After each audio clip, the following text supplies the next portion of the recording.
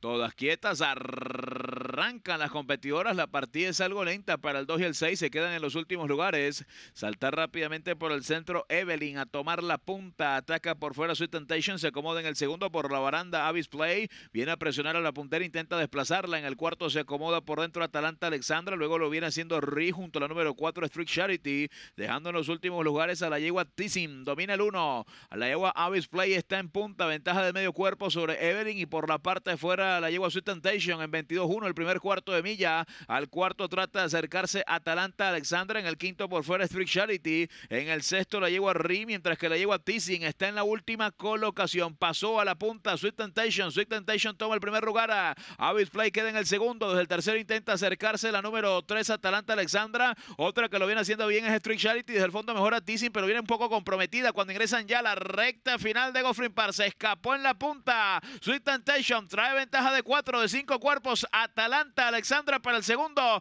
Tizin pasó al tercer lugar, pero les gana el 7 galopando la de Ralph con Leonel Reyes Ramos. Back to back para el venezolano. Ganó el 7 Sweet Temptation. Segundo Atalanta, Alexandra. Tercero para Tizin Lejo. Cuarto para el 4 Street Charity. Quinto Evelyn.